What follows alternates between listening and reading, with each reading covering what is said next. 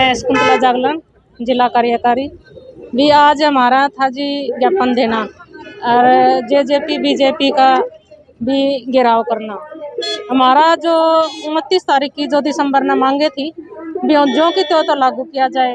और दो दो हज़ार अठारह में सितंबर में मुख्यमंत्री जी ने साढ़े सात सौ प्रधानमंत्री जी ने साढ़े सात सौ अल्पर का पंद्रह सौ वर्कर का। भी उस पड़ी हुई है बात। है वो एरियर समेत लागू किया जाए।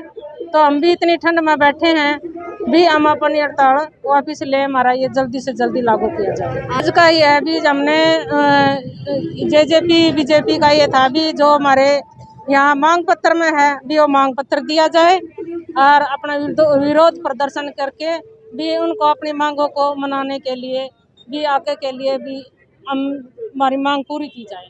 नहीं मानी जाती। पच्चीस जनवरी तक तो हमारा नोटिस दे दिया जी। आज पी मैडम को हम नोटिस दे के आए पच्चीस तक तो हमारी हड़ताल जारी है। अगर पच्चीस तक भी नहीं मानी गई तो लगातार हड़ताल चलेगी जी।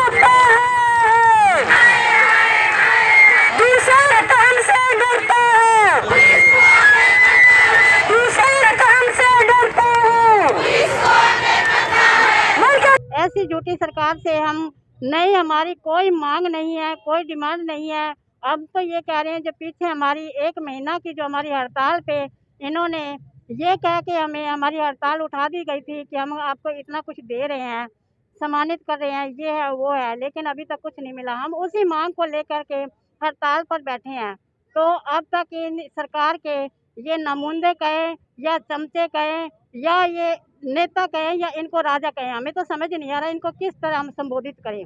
इतने झूठी सरकार जो इतना कुछ कह के अब मुकर रही है कि हमें देने के लायक नहीं है। अगर ऐसा कुछ देने के लायक नहीं है तो वह अपनी बात को कंट्रोल रखे, चुप रहे।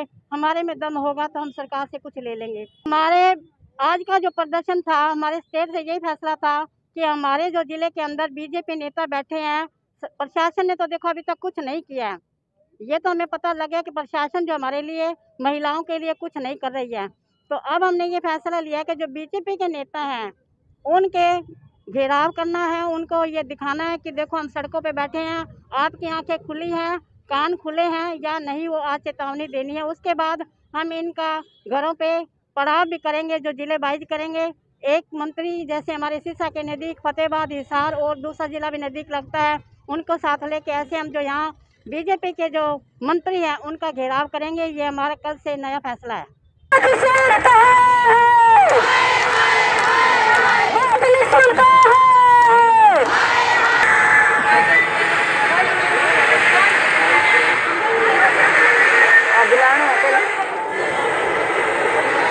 अब हमारे बीच में किसान नेता कॉमरेड सुरजीत सिंह जी अपनी बात रखेंगे। आपका के साथ स्वागत है